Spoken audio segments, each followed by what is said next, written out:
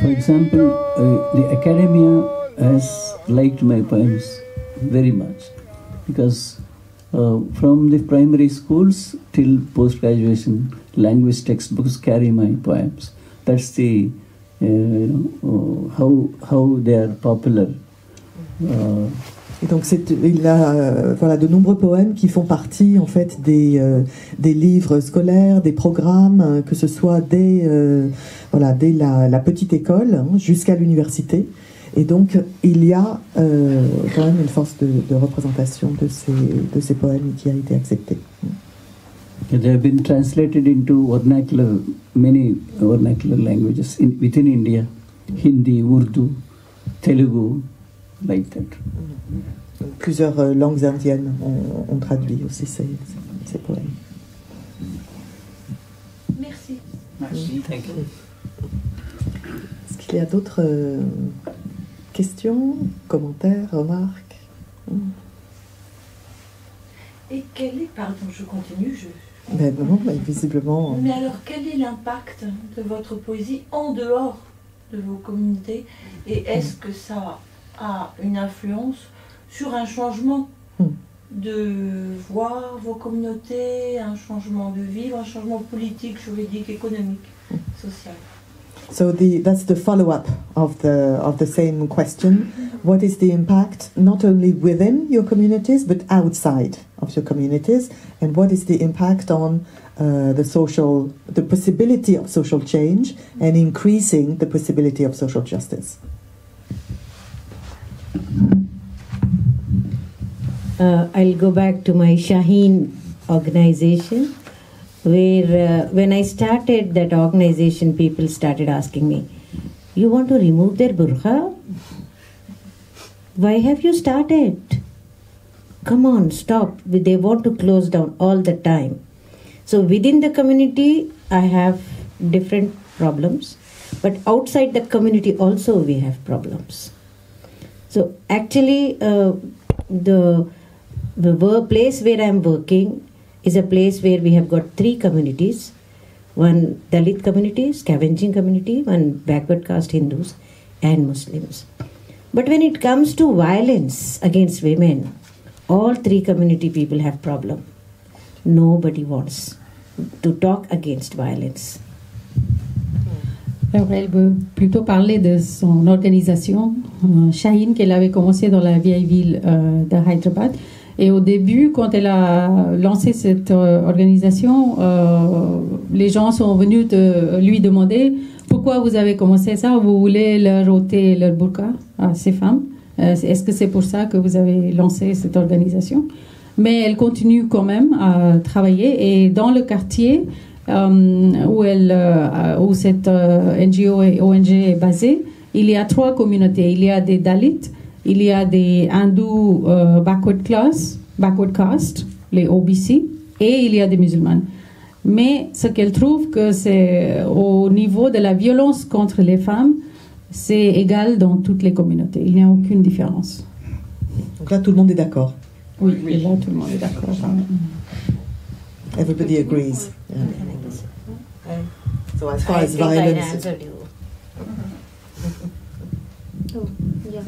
So, uh, yeah, when I started uh, writing strongly political um, uh, poems, then um, means everybody was f- first. Everybody was not believing that uh, any tribal girl can write uh, very strongly this kind of poems. So.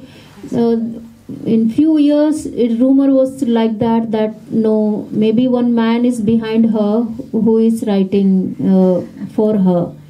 So mm, they were not believing that i'm writing. But uh, when i started writing prose also and then in different seminar i i was talking about this thing also and then my experience also. Then slowly uh, mainstream people believed that it's my poem and uh, i have you know behind that you know uh, stories and feelings i have then slowly it got accepted uh, but people were very very inspired that how one uh, you know Adivasi uh, girl can write very strongly, uh, and it is very similar. Uh, uh, um, that style is very similar to mainstream. So few Adivasi people have problem that why you why you write like them. So there was some uh, uh, uh, this kind of uh, uh, discussion. But because of these poems that all issues you know people started feeling very closely. Because sometimes they were not believing that what's happening in adivasi area. But when as a adivasi girl when i i started writing they they started believing that it is true and it is you know it is uh, uh, that all, all poems have one story behind that and they started believing. And then in mainstream literature and mainstream in seminars that uh, through poems they started talk, talking about uh, issues also. So with poetry like all over the india most of big big country and uh, big cities i have spoken with poetry about Adivasi issues and problems. Uh, uh, so, in this way, they have accepted. Euh, euh, quand j'ai commencé à écrire des euh, euh, poèmes politiques, euh, au début, les gens ne pouvaient pas le croire? Euh, que c'est une fille adivasi euh, qui, qui écrit comme ça. Euh, et ils pensaient que euh, sûrement il doit être un homme Derrière tout ça. de- derrière. Il y a forcément un homme derrière fille, tout ça. hein. Mais ap- après quelque temps, ça, ça, les, les, les, gens ne croyaient plus parce que elle, euh, Jacinta a écrit aussi euh, en prose des, euh, rapports journalistes. Et alors les, les gens comprenaient que oui, c'est vraiment une, une personne qui est dans le milieu, du, qui est du milieu et qui, qui, qui écrit sur le milieu. Et c'est, la matière qui, qui touche nous tous. Mhm. Et euh, ils sont heureux comme ça.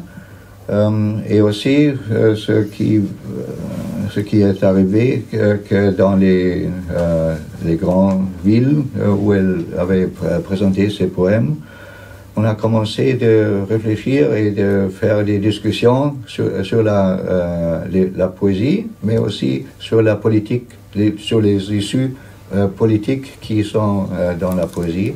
Et au-dessus, euh, il y a aussi des,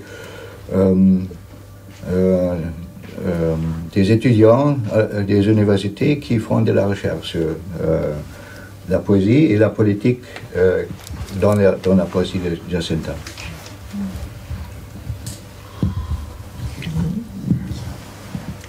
Qu'il y a d'autres questions? Questions? Are you happy I with? have- I yes, have an you have. You have uh, another answer. Mm. See, it's believed that the literature cannot do revolution, cannot create. C'est. Yeah, but it, it might, might not have. But I believe that the literature shows the direction to the society. There is some, and though it's not, uh, uh, you know, mm, people do care. Right now, there is some, uh, you know, agitation going on in India for some reason. But the activists, writers, artists, they're all very active. They are afraid of them. So that th- there is a fear that some people are watching us. So one more thing, my poems have have created some impact on the upper caste minds. That I believe, but there is some change in their approach. So in their uh, behavior. See about if you make them understand about the untouchability, they they realize that there is no meaning in it. So there is certainly impact of the literature I am convinced about it. Donc la littérature ne va pas mener à la révolution, mais ça peut montrer des directions. Et ça peut montrer le chemin et créer un certain impact dans une, une prise de conscience euh, qui peut avoir lieu euh, sur, les, sur les élites euh, dirigeantes. hein, finalement, on pourrait, on pourrait dire ça comme ça. Et ces élites dirigeantes ont une certaine peur, finalement, malgré tout et malgré les apparences, euh, de ce qui peut être euh, écrit et de ce qui peut être euh, dit. Donc il y a, il y a cette, voilà, cette présence de la littérature en laquelle euh, Chinnaswamy croit fortement et est convaincu que cela va amener un, changement vers une plus grande justice sociale.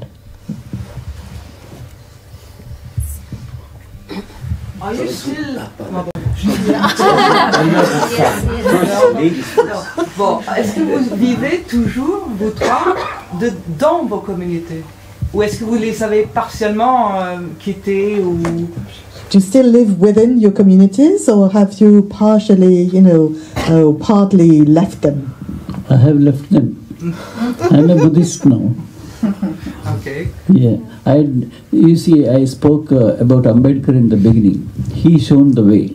His last advice to the people, Dalit and Adi- Adivasi, the oppressed people, is you come out of that uh, religion. It is not a religion at all. He says, caste is anti-national. First, he said. So it is. It's not a structured religion.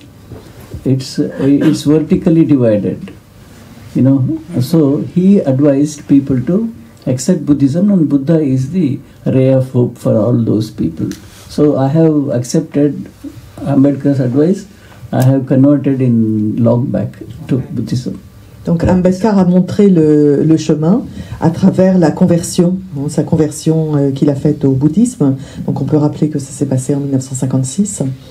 Euh, et donc euh, Chinnaswamy dit qu'il a, il a quitté, non pas sa communauté, mais il a quitté, disons, le système des castes. Euh, de façon euh, voilà radicale, de la même façon que l'avait fait euh, Ambedkar. Yeah, so uh, I, I, I, I'm with community and I'm uh, working uh, in villages also. I'm continuously visiting, uh, uh, and most of the time I'm spending in village and forest and mountains. I work in the community. I live with them. So I'm always with the community and I always get challenges and I get I'm used to that. Donc Jacinta et Jamila sont toutes les deux euh, ancrées dans leur communauté et ne les ont absolument pas quittées. C'est au jour le jour, tous les jours. Thank you. So, first of all, thank you very much for your words. And I discover more and more how the Indian culture is great. So, thank you so much. I have now a question for Jamila.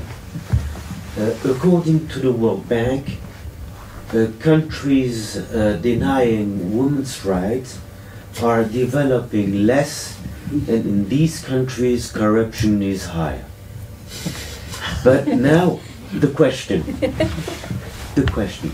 So, do you think that in your country, in your community, this horrendous violence can change? Can it end? And how can we be optimistic? It will definitely change. That's why that's why I'm working.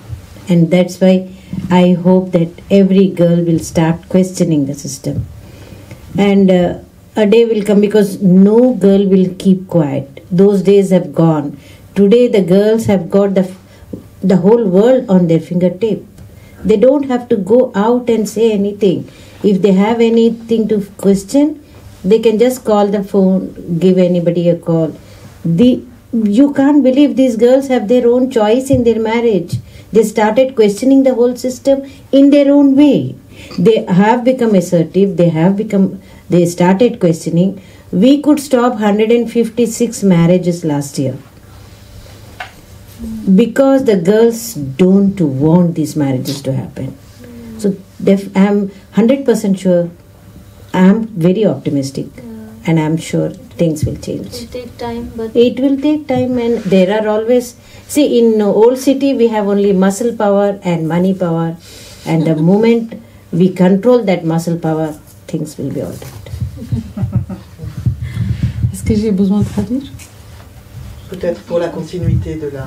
Oui, alors euh, Jamila, elle est très optimiste que les choses vont changer parce qu'elle dit que les filles d'aujourd'hui ne sont plus comme elles étaient avant et elles sont très très assertives, très très indépendantes et elles veulent euh, que les choses euh, changent. Et euh, même l'année dernière, ils sont, son organisation a réussi à arrêter 156 mariages forcés comme ça dans la communauté parce que les filles elles-mêmes avaient protesté et elles sont venues chez elles pour, euh, pour euh, demander de l'aide. Et dans la vieille ville, c'est surtout, euh, c'est, surtout euh, un problème politique. Et une fois que ces problèmes, elle, elle est optimiste que ces problèmes seront résolus un jour, que ça ne peut pas continuer comme ça. Et Jacinta avait le même message d'espoir. You were also saying that you you had hope that it would Yeah, stop, yeah. that it would take time, but it would it would stop. Donc ça, voilà. Ça prendra du temps, mais on peut garder espoir et rester optimiste. merci beaucoup. Moi j'ai une question. Euh, vous mettez en poésie des combats qui sont très indiens, des combats politiques. Est-ce qu'il y a des poètes internationaux euh, dans lesquels vous vous retrouvez tant en termes de combat qu'en termes de sensibilité, même si les problèmes ne sont pas tout à fait les mêmes So, in fact, you're uh, fighting for a certain number of, ver- of very Indian issues within the Indian context. Are there any um, international poets, non Indian poets, um, in which you recognize yourself, in which your, you know, your struggle and your fight is also echoed? Um, we don't know um, about international poet, but people are internationally uh, uh, stands are you know uh, uh, are struggle. Like there was uh, in Odisha, Niamgiri uh, struggle was going on to save this whole range of Niamgiri mountain, and all over the um, world from outside people have supported that and then uh, supreme court decided not to you know mine not to uh, start mining in there because the, they believes in mountains and uh, they believes in their ancestors and they never want to they never want to leave that forest. So in in the uh, so internationally when people starts talking about it gives pressure indian government also. So that helps you know our adivasi struggles. So, en, en réponse directe euh, sur la question, euh, il n'y a pas de, tellement de de- pas de, euh, d'effet, mais euh, quand les luttes des Adivasis pour leur environnement est internationalisée, euh, comme par exemple euh, la lutte dans le sud-est euh, de l'Inde, euh, dans l'état d'Orissa. Il y a une région de montagne inhabitée des Adivasis et c'est plein de bauxite. Et il y a des compagnies internationales qui, qui vont prendre ce bau- bauxite et la communauté adivasi locale euh, lutte contre, contre ça. Et c'est- c'est- cette lutte est bien internationalisée et euh, ça continue, euh, ce, cette, euh, ce débat. Are there any other, um, you know, international writers, non-Indian writers, Uh, I- who have provided inspiration for you? See, I started writing poetry and I read only inter- uh, English literature more than my own literature because I never read Ghalib and Iqbal so much as I read Sylvia Plath or Emily Dickinson. So for me, it is all, the whole planet is one family. I feel all poets, all painters communicate. Yesterday we were seeing the exhibition, painting museum, in, uh, paintings in the museum, And I felt these are the paintings I was looking at in my own family by, when my, I was sitting with my father. So I don't believe that we are all separate, we are all one. And any any person can inspire anybody else. So for me, all the poets, I I believe in I like Spanish poetry. I haven't read so much of French poetry. I love to read that. I don't have good translations of that. Alors, euh, elle dit qu'elle n'a pas autant euh, lu les poètes ourdou que anglais. Et elle a été très inspirée par euh, Sylvia Plath, Emily Dickinson. Et elle trouve que mm, on est, finalement tous les poètes s'expriment sur les mêmes questions. Et il y a une universalité dans leurs écrits. Et donc, euh, la, nationalité, finalement, ce n'est pas la question la plus importante. Et elle, a trouvé, euh, on était allé au musée d'Orsay, elle a, elle a trouvé que dans les peintures qu'elle a vues, elle voyait refléter les peintures que faisait son père.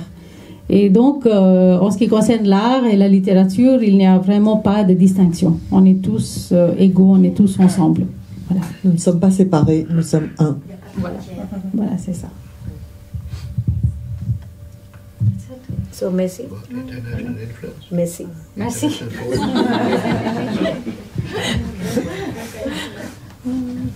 On va peut-être donc s'arrêter là si vous n'avez plus d'autres euh, voilà, questions ou commentaires. Merci à tous, merci, un grand merci, à la bibliothèque, aux écrivains, à leurs traducteurs